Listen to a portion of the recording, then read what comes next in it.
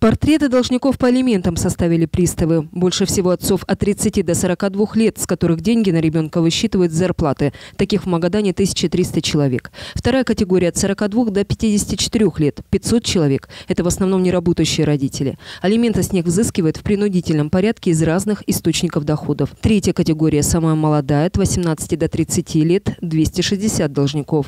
Зрелых алименщиков всего 2% или 42 гражданина. Им от 54 до 66 лет. Всего на Колыме 1200 неплательщиков, лишь 122 платят алименты добровольно. Сегодня колымские приставы и студенты провели акцию в поддержку детей. На улицах города раздавали листовки. 500 миллионов рублей должны магаданские родители детям. В черном списке приставов есть и более 400 женщин. Большая часть лишены родительских прав, не работает и злоупотребляет алкоголем. Их дети живут в детских домах и приемных семьях.